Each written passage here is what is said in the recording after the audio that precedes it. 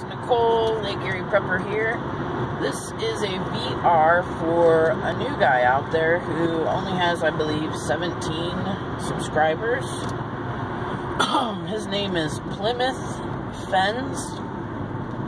He's out there in the UK. Um, I heard about him through Doc Inc. Uh, he currently has a giveaway going on for a box, his box of a 72 hour survival kit.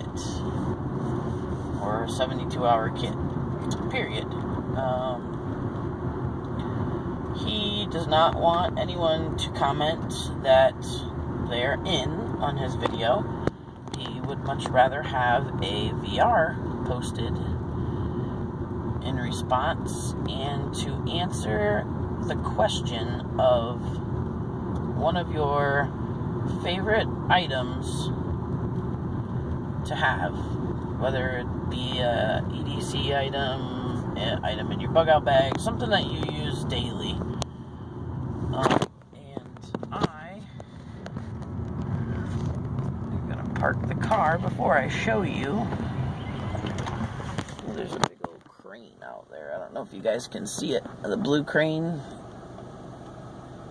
this is the end of my drive down here. Stop to get the mail real quick. Looks like the girlfriend already got it. So, take this time to prop you up and show you one of my favorite items is I think you guys all recognize the symbol there. Yep, that's the Gerber symbol. This little bad boy is a money credit card holder. It's just pull your cards out there. It looks like this. It's got a sturdy back, sturdy front. But the kicker about it, there you go. Nice little knife there.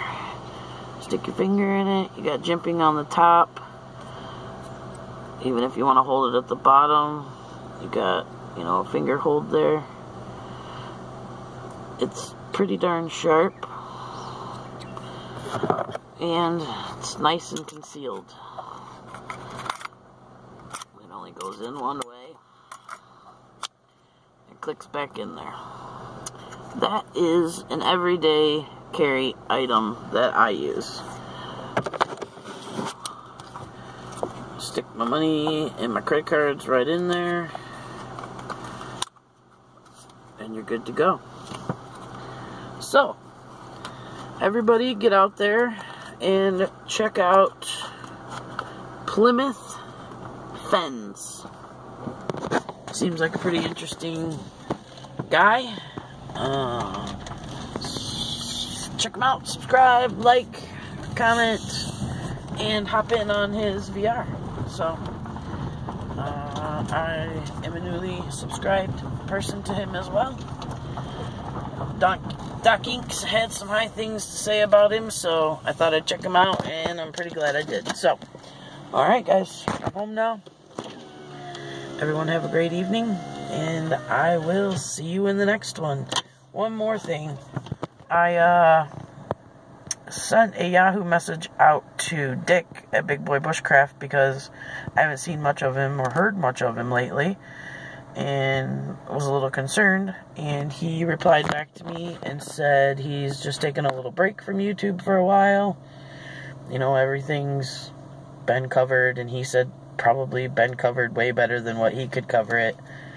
And I said, that's not what it's about. It's about, you know, community. I said, we'll definitely miss you, miss seeing your face, and miss seeing your comments. So, Dick is okay, but on his trip to Ottawa, he decided he needed to take a break from YouTube for a while. So, I support his decision, but I will definitely miss him.